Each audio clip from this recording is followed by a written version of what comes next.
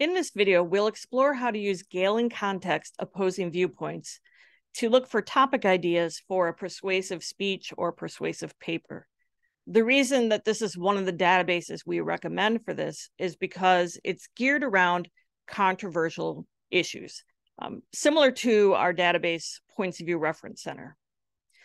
To get to Gale in context opposing viewpoints, when you are on the library page in Wired, you actually want to click Michigan e-Library, not the name of the database.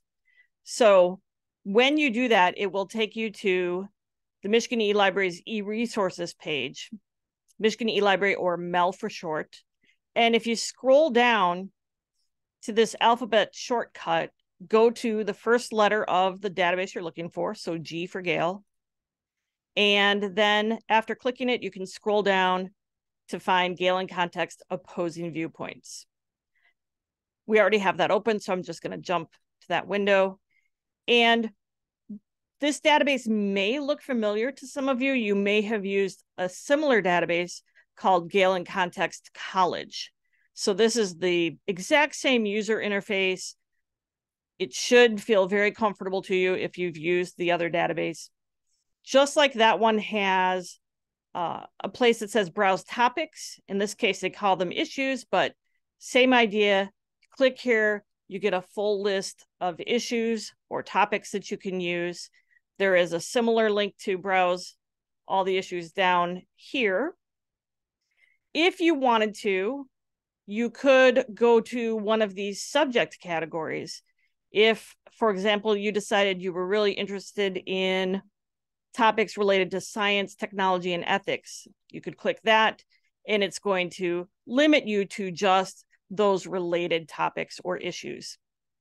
If you go back, again, we could click on browse issues instead, and that will just take you to their full list of issues that you could scroll through and just see if anything jumps out at you, looks interesting, might be a potential topic for you. Once you do have one that you're interested in, let's say electric and hybrid electric vehicles and cars, we'll click on that.